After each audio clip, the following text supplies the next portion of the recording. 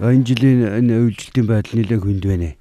Бас зөв хэмжээний ус тэжэл бэлдэж авсан боловч одоо хөрөхгүй. Мал бол нэлээд хорогдсон. Одоо цаашдаа бас ямар ч хөндрөл үүсчихийг бас өгөх газар алгуул байна. Күйтнийг араацвал 50 гарсан гэсэн. Яма бол лаарал бэрэл зогсчихж байгаа шүү дээ. Кээлтэй мал бол ер нь ихэнх их ямад бол кeel хаяд ус одоо би нэг 70 80 ямад өрөх өст 10 хүн ишгтэй сууж.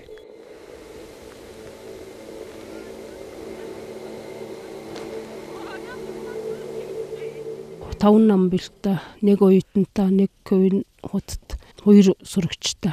Удаа ч гэсэн цагаагаар үргэлжилсэн цас урсан л одоо ирээсээ хэзээ дулаар дэмэтгэхгүй. Хүнд байдалтай байна. Цасан шуураад корилчаад өхөр мал остын зуугдаад гарч чадахгүй. Ямаан бол ирээсээ майлал зогсчдөг. Күйт даадгүй зармын дүүрч чирчирэл хашаан дуруулал тэгэл дүгарын дээл өгч байна. Үгөөгөө нэг нь яг хөө тэжэл мэжэл өгсөн болол тэгэл нэг ам зүүлгчлээ.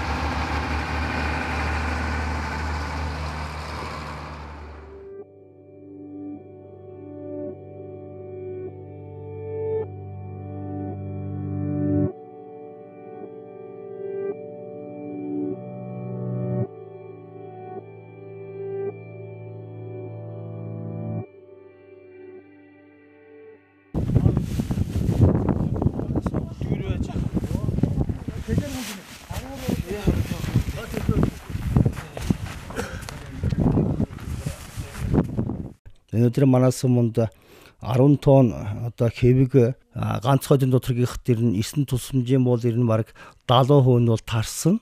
Одоо нэг 30 орчим үйлдсэн. Зүд ихтэй газар нь арай төлхөө байгаад зүд бахтай газар нь жоохон баххан байгаад тэжүрмаараа ингээд хуваарлж зогсуулсаа.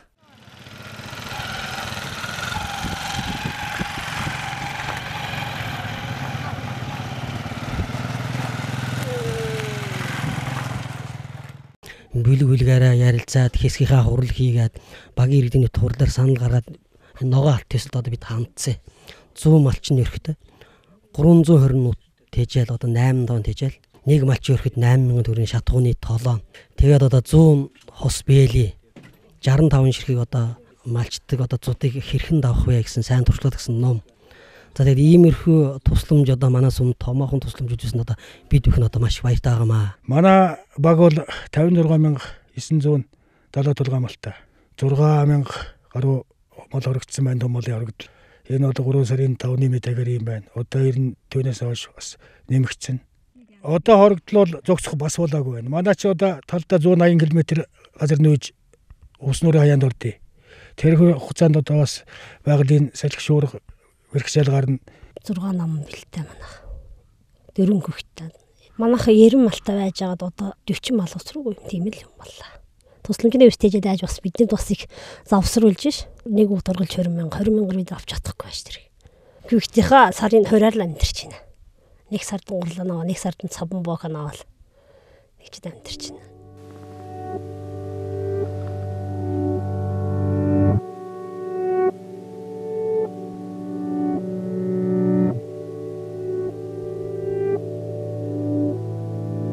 Энэ хоёр удаар яг нэг кэл хайсан ямаа юм уу хорогтой хон мэн тэгэл хот гэл явах юм зэрэлтэй.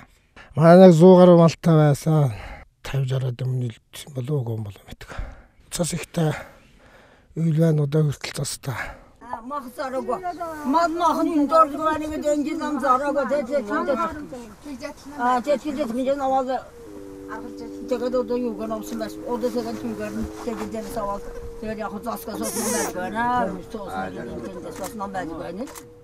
Dönüzü udmaz, tövbesin zun şirmaz horuk, çın bozmaz horuk dugoyi. Asya üst tecez apçı, bazı açat dugo duçur olca işte, üstü şantin söyle, üst tecez avalaklı, üst tecez avalaklı, bitin tege dugo. Gazır delke gazı, tüyün itkine gegeli, gegeli, gegeli, gegeli, horuk dülde dugo, şu, nam temdin kırkılar. Mariyan ulan üzür var, gazolcum yerin odan öğüt suğa kaptı.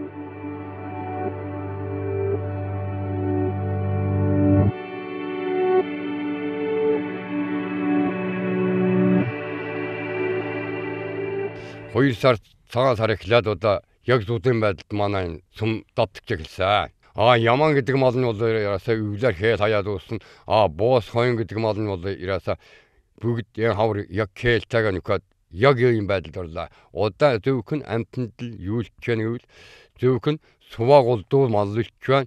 Энэ жил удаа манай нутагт их хэмжээний цас нь урж зүд зарим газраар их хэмжээний мал зүтч иймэрхүү хүнд үйл боллоо. Нэг яам буурлангийнхтлууд 100000 төгрөг гэрхгүй та. Тэгээд одоо зарж бурлуулаад дэвс тэжээл амтнаа авах боломж их муу та. Малын ханш муу та. 300 гаруй мал ирэн баг төрөх хөстэй байсан. Одоо ирэн нэг 40 50 төл барих юм мэдхгүй ирэн тийм л байна штэ ирнэ. 100 гаруй хой хорогдож 40 гаруй ям хорогдлаа. 30 40 хэвэг таваажаар бараг зуудаа шахуу ивсэн ном байсан. Тэгээд одоо цугийн нэгэ дахиад энэ тэндээс тусламж их ирсэн тэднийг цугийн нэгэд манай банкна зээлтэй 6 гэгтээ дөрвөн сурдаг. Уюутан гэгтээ манай. Хойдон жилээс одоо энэ уюутна тэлвэр мэлвэр одоо юмных гарна яана ирнэ гэж жил бод жилэн. Талаа тусл нэмэр гэж энэ биднэрт бас их юу яаш. Одоо ихэр тугалдаа нэгнэ. Ийгэн нүүхлэр унсмэрнэ нэгнэ. Байгалийн гамшиг юм чинь одоо бид нар одоо ягаад Год илдсэн малаа нисгхийн талаар хэлж байна. Угаас нэг цаасны хүчраас мал мөөч одоо дээрээс тээврэг авдаг. Хөдөлдөг. Тэгээ цаас анзрал юм гардаг. Одоо л жин хотноос аавны нурга.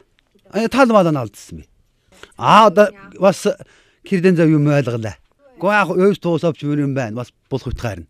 Ганц нэг одоо нэг гүрүүнээр өгөхтэй байж нэг нь зарж нэг таван дөрөв явсавч өгч юмар юм байна гэдгийг ойлголаа би. Өгн нь бол урд нь бол манайх нэг нүйгээ суугаад их хөвжээсөө. Энэ ажил бас нүйдэг гэж ягаад арын дэлхэн бас гаагуулчих болов. Ийд одоо дэвэлцсэн тэгээд яг амжил мөхтэй үйлчлээ.